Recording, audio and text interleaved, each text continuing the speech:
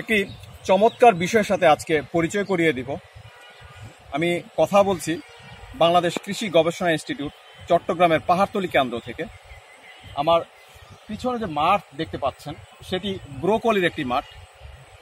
এই ব্রোকলি মাঠের যে এক্সপেরিমেন্ট চলছে, সেটি হলো এই ব্রোকলি থেকে বীজ উৎপাদন করা হবে।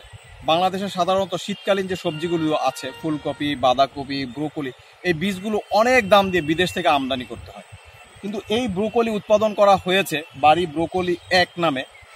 এটির বীজ এখানেই উৎপাদন হবে এবং এবছর এই চট্টগ্রাম জেলায় প্রায় দশ কেজির মতো বীজ কৃষকদেরকে দেওয়া হয়েছে, যারা নিজেরাই এই ব্রোকলি উৎপাদন করবে, পাশাপাশি বীজও উৎপাদন করবে। অর্থাৎ এই প্রকল্পটি বা এই এক্সপেরিমেন্টটি যাতে বাংলাদেশের কৃষকগণ ব্রোকলির বীজ নিজেরাই উৎপাদন করতে পারে এবং বিদেশ থেকে যাতে বীজ আমদানি করতে না হয়, সেরকম একটি ধারণাকে সামনে রেখে এই এক্সপেরিমেন্টটি করা হয়েছে। আমরা দেখতে পাচ্ছি যে ইতোমধ্যে বিভিন্ন ব্রোকলি ইতিমধ্যে চলে এসেছে। এখানে এই যে ব্রোকলি চলে এসেছে, এটাতে আমরা দেখতে পেরেছি যে এটাতে এই যে ব্রোকলি ইতিমধ্যে হয়েই গিয়েছে। এটা এই ব্রোকলি কেটে নেওয়ার পরে এখান থেকে পার্শ্ব থেকে কুড়ি, কুশি বের হবে। এই কুশির মধ্যে আসলে হবে বীজ। এই ব্রোকলির মধ্যে কিন্তু বীজ হবে না। বীজ হবে হলো ওই যে পার্শ্ব থেকে যে কুশি বের হবে, অর্থাৎ একই সাথে ব্রোকলিও খাওয়া যাবে এবং সেটা থেকে যে কুশি বের হবে, সেই কুশি থেকে আমরা বীজ উৎপাদন করতে পারব। আসলে এই পরীক্ষাটি ইতিমধ্যে সফল সফল হয়েছে এবং যার কারণেই বিভিন্ন কৃষকের কাছে বীজ পাঠানো হয়েছে। এই ছবিগুলো গত বছরের। গত বছর এখানে সফলভাবে বাড়ি এক জাতের বীজ উৎপাদন করা হয়।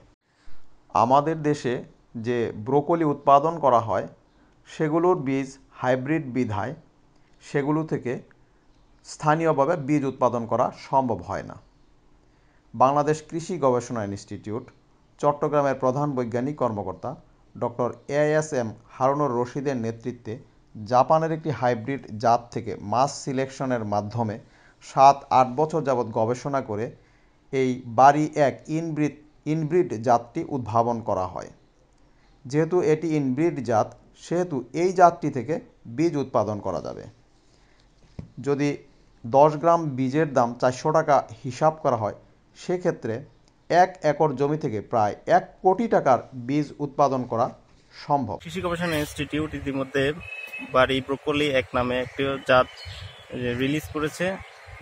আর এই জাতের প্রধান বৈশিষ্ট্য হচ্ছে আমরা বিদেশ থেকে বাড়ি ব্রোকলির যে বীজ আমরা আমদানি করতে হয় যার প্রতি কেজি বীজের প্রতি দশ গ্রাম বীজের দাম হচ্ছে চারশো টাকা। আর সেখানে আমরা যে জাতটা ইয়া করেছি রিলিজ রিলিজ হয়েছে যেটা যে জাতটা সেটাতে আমরা নিজেরাই বীজ উৎপাদন করতে পারি দ্যাট মিনস হচ্ছে এটা ওপি ভ্যারাইটি মানে এটা কৃষক বীজ উৎপাদন হ্যাঁ, করতে কৃষক পারবে। বীজ উৎপাদন করতে পারবে। আর একটা ভালো একটা ইয়া হচ্ছে আমরা যে ফুলকপির মতো যখন ফুলকপির হেডটা কেটে নিয়ে ফেলতে পারি কাঠটা কেটে খেয়ে ফেলার পরে আর ইয়ে হয় না ফুলকপি হয় না। ফুলকপি হয় না। সেক্ষেত্রে আমরা যে ব্রোকলির ক্ষেত্রে কাঠটা রিমুভ করার পরেও আবার নতুন করে। নতুন করে কুশি বের হয় ওখান থেকে আমরা বীজ রাখতে পারি। কুশি কুশি থেকে বীজ রাখা থেকে বীজ বীজ বীজ হয়। আর প্রতি কুশিতে যে যে বীজ হয় প্রতি হেক্টর হ্যাঁ, প্রতি ছয়শো কেজির উপরে বীজ পাওয়া যায় যেটা কৃষকরা মানে নিজেই বীজ উৎপাদন করে নিজেই বিক্রি করতে পারবে আবার বকুলি খেতেও পারবে। একসাথে মানে তিন চার ধরনের চাহিদা সে মানে ছয়শো তিরিশ কেজি কি এক হেক্টরে? এক হেক্টর। তার মানে তার দাম তো অনেক বেশি। জি জি অনেক বেশি। বললাম যে দশ গ্রাম বীজের দাম দশ গ্রামের দাম যেখানে চারশো টাকা চারশো টাকা তার মানে ছয়শো তিরিশ কেজির দাম তো অনেক বেশি। তার মানে কৃষকরা একদিকে ব্রোকলিও খেতে পারবে ব্রোকলিও খেতে পারবে আবার বীজ উৎপাদন করে বিক্রি করতে পারবে। আর সবচেয়ে বড় কথা হলো দেশ ব্রোকলির বীজ উৎপাদন একটি স্বয়ং সম্পূর্ণ দেশ হিসেবে প্রতিষ্ঠিত হতে পারবে। আসলে একটি দারুণ উদ্যোগ। এভাবে যদি আমরা ফুলকপি, বাঁধাকপির বীজ যদি আমরা দেশে উৎপাদন করতে পারি, তাহলে কিন্তু দেশীয় মুদ্রার একটি বিরাট সাশ্রয় ঘটবে। চলুন আমরা সেই দিনের প্রতীক্ষা